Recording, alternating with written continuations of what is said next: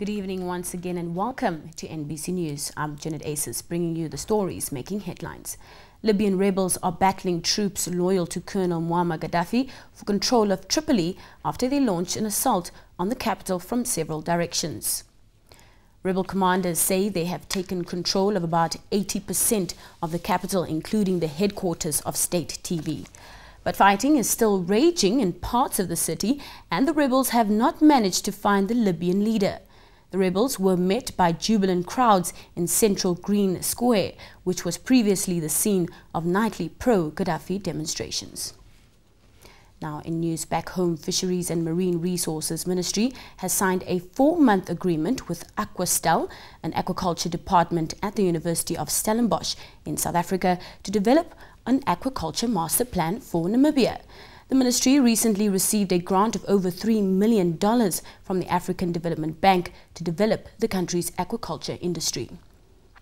Fisheries and Marine Resources Permanent Secretary Ulitala Hiveluah signed the contract on the ministry's behalf, while Professor Danie Brink signed on behalf of the University of Stellenbosch, Namibia's aquaculture sector in its infancy, although aquaculture activities are believed to have started in the late 1800s with the introduction of carp, bass and tilapia fish species. Now, the Regional and Local Government Housing and Rural Development Ministry has ordered the Kalkrand Village Council to overturn the appointment of an acting village secretary. This followed a demonstration by some residents of the village in the Hardap region who condemned alleged corrupt practices at the village council. They also called for the immediate reinstatement of the village secretary, Neville Smith, who was suspended on the 18th of this month.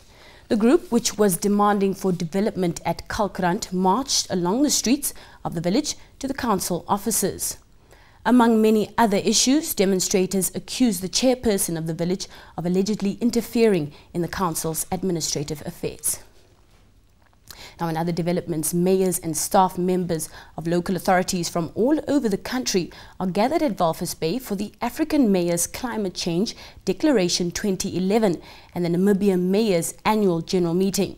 The combined event will provide a platform for local authorities and their stakeholders to strengthen capacity through regional African climate change. The platform is also serving as a preparatory opportunity for Namibia's local authorities to participate in the conference of the United Nations Framework Convention on Climate Change, which is scheduled to take place in Durban, South Africa at the end of this year. The governor of the Erongo region says flooding experienced recently in the northern and northeastern regions, as well as in the Kuiseb basin of the Erongo region, is a clear indication that climate change is now happening frequently. In business news, entrepreneurs in the tourism sector are said to be lacking business presentation and negotiation, and negotiation skills. Such skills are vital to succeed in business as they help businesses to market themselves and obtain financial assistance. Address, to address these challenges, the Namibia Tourism Board launched an SME program to give training to those in the industry. Participants are drawn from the tourism and hospitality industry and will be taken through a four-week-long business training session over the next three months. The training will focus on improving the marketing and operational skills of tourism entrepreneurs and to develop their business management capacity and overall business practice.